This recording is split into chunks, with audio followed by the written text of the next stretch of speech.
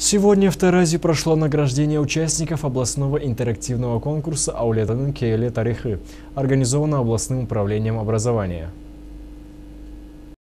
В интеллектуальном состязании приняли участие 342 учащихся. Юные знатоки истории преодолели два этапа конкурса, прошли тестирование на знание истории Жамбулского региона и защитили свои научные проекты. Сегодня проходит э, на базе ВДЮЦ награждение участников конкурса Аулиатаның киелі тарихы в рамках Рухани Жангару.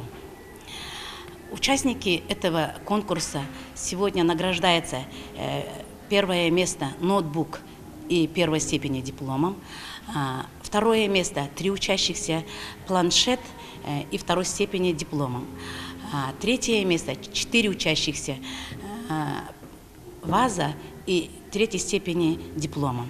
По словам самих участников конкурса, они долго и тщательно готовились к этому состязанию. Они считают, что каждый житель Жамбылской области должен знать историю родного края. Я проходила э, Олимпиаду э, Аулията по истории Казахстана. Э, благодаря хорошей тщательной подготовке я прошла тестирование, которое было направлено на проверку моего знания родного края и моей области.